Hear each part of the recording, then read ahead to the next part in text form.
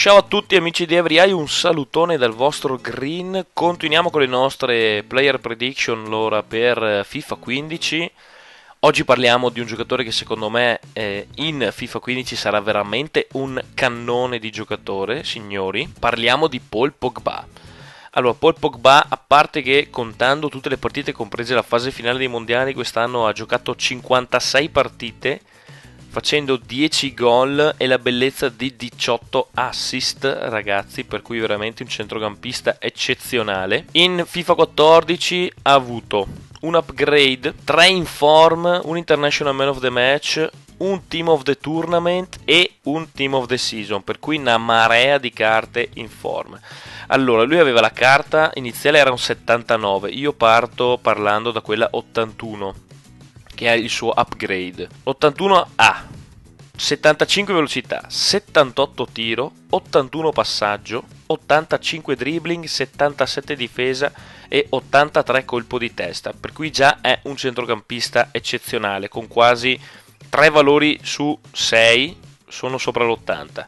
Quello che prevedo io è un 83-84, mi sono tenuto basso perché poi mi dite che alzo troppo i valori. Speriamo, anzi preghiamo che resti alla Juventus, nonostante io sia interista, ma secondo me questo qua è un giocatore fortissimo, un campionissimo e deve restare nel campionato italiano, per cui se resta alla Juve sono contento lo stesso. Dicevo 83. Analizziamo valore per valore. La velocità secondo me potranno aumentarla fino a 79 perché è comunque un giocatore veloce per essere un centrocampista e anche per diciamo, il fisico che ha, perché è un giocatore alto, 1,88 se non sbaglio, e, e fisicamente anche ben messo, però la velocità nelle sue gambe ce l'ha, ha un bello scatto, ha una grande rapidità di movimento. Il tiro potrebbe essere portato ad 81, più 3 punti nel tiro, eh, soprattutto per quanto riguarda i long shot, ha dimostrato di avere veramente la polvere da sparo nei piedi. Lascerei le 3 stelle sul piede debole comunque. I passaggi li ho aumentati di un punto soltanto eh, perché diciamo mi piacciono molto i passaggi corti che fa, ha una buonissima visione di gioco, quindi direi che l'aumento di un punto ci può stare tutto, perché già 81 è un valore buono, 82 sarà comunque un valore buonissimo. Andiamo a parlare del dribbling. Allora, io ho messo un 86 nei dribbling, ho aumentato di un punto anche qui. 86 di dribbling è un valore molto alto, già lui aveva 85 nell'upgrade.